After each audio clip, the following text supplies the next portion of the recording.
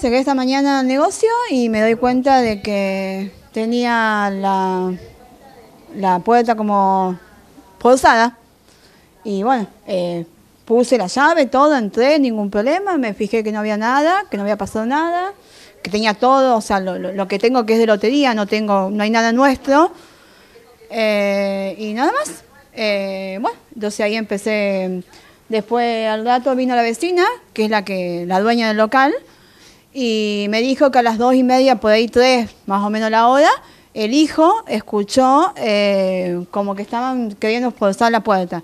Ellos viven acá al lado, levantó la ventana y cuando él levanta la ventana salen corriendo, o sea que tenían como un badote, no sé cómo explicarlo.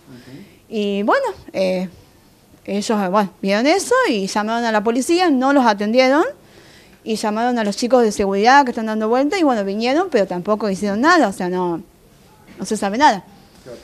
Y yo tampoco hice denuncia porque la policía no, no, no, no los atendieron. No sé ahora si tendría que llamar a la policía, la verdad no sé qué hacer. ¿Llamaron a la policía entonces? Ellos llamaron, pero no los atendieron. A esa hora. Después no llamamos más. O sea, no pasó nada, no hay nada de, de- de que se puedan llevar. Eh, todo lo que tenemos que acá eh, es de lotería, no es nuestro. Eh, no hay nada de valor, no sé qué, qué están, qué están buscando. eh, pero bueno, te da bronca, laburas todo el santo día para que vengan y te hagan esto. No sé qué voy a hacer, no sé cómo vamos a seguir. eh, Claro, ahora la idea que es reforzar la, la seguridad de- del Sí, local. pero ¿de qué forma? O sea, una alarma sale muchísima plata. Un, que también, si quieren, te las rompen. Es así. Eh, camas de seguridad también sale, pues, es plata. Eh, ahí después, la cámara de seguridad, te la vigilan y después nunca llegas a nada. Ha- he, te- he tenido gente que le pasó eso. ¿Y qué? ¿Poner un vigía? ¿Cuánto te sale?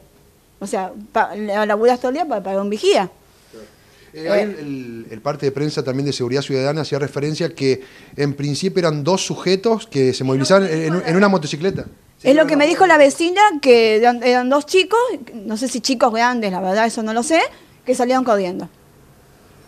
No sé si estaban en, en moto en algún lado, eso no lo sé porque ellos vieron eso y bueno, hicieron eso y quedó, quedó ahí en la nada. ¿Había movimiento anoche? Está el casino abierto, supuestamente ella me dijo que había gente que iba y venía. De ahí en más no sé nada porque yo no, ahora no estoy más acá.